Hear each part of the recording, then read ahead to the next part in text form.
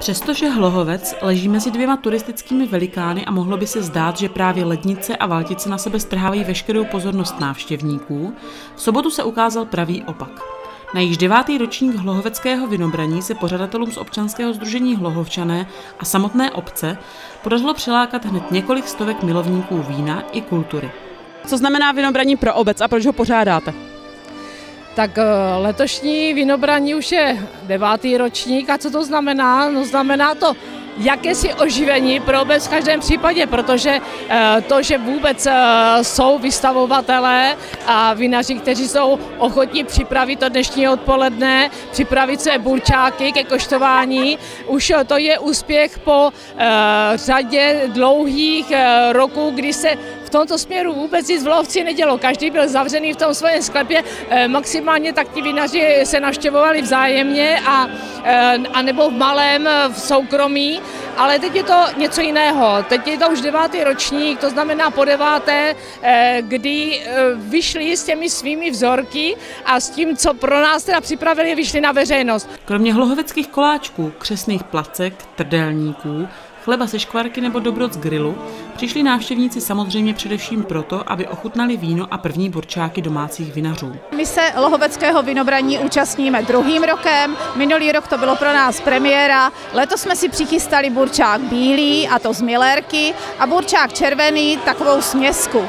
Sbírali jsme jedenkrát, byl to takový předzběr na letošní vinobraní, jinak nás čeká velký sběr dvou hektarů vinohradu v příštím měsíci. O zábavu ale rozhodně nouze nebyla, právě naopak. Protože snad žádné vinobraní by se neobešlo bez folkloru, na pódiu se celé odpoledne střídali mužský a ženský sbor z Poštorné i tamní cymbálová muzika.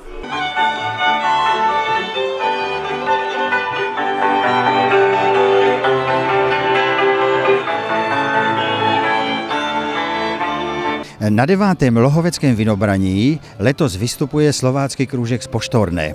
Slovácký kružek v Poštorné má dlouholetou tradici, už byl založen v roce 1999. Máme na 100 členů, velice aktivních.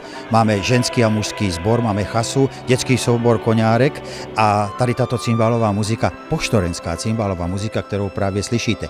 Dnes bude doprovázet mužský sbor a ženský sbor z Poštorné.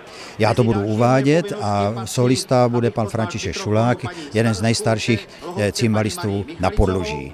Mužský sbor má připravený takový takové pásmo nebo, nebo prostě blok, my tomu říkáme blok, e, písniček o víně. Jsou trochu žertovné, samozřejmě pijácké, že? Tak to ještě děvčata tam mají, ženský sbor tam má něco o víně. No a pak eh, jsme dali takové známější písničky, mm, tak, aby si mohli zaspívat samozřejmě i ti příchozí. Mnoho příchozích se těšilo hlavně na večer, který patřil nejen domácím kapelám. Hlavním lákadlem hlohoveckého vinobraní totiž byla vizovická kapela Fleret, která rozespívala malé i velké.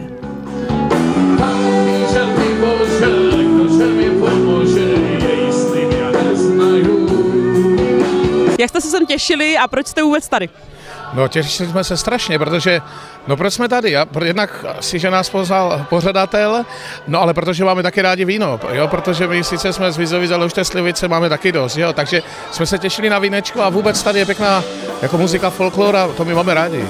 Vzhledem k tomu, že nám vyšla vlastně nová deska teďka před měsícem, nové CD Hopa Baby, no tak zahrajeme určitě asi dost novinek si myslím a uděláme i průřez, protože jsme tady vlastně ještě v Hlohovci nehráli, takže uděláme samozřejmě průřez s těma starýma peckama, takže myslím, že zahrajeme takové to gro, co teďka vlastně Flared hraje. V předchozích letech se program odehrával v kulturním domě a na prostranství před ním měli vinaři své stánky s burčákem. Letos poprvé se veškeré dění přesunulo po čiré nebe.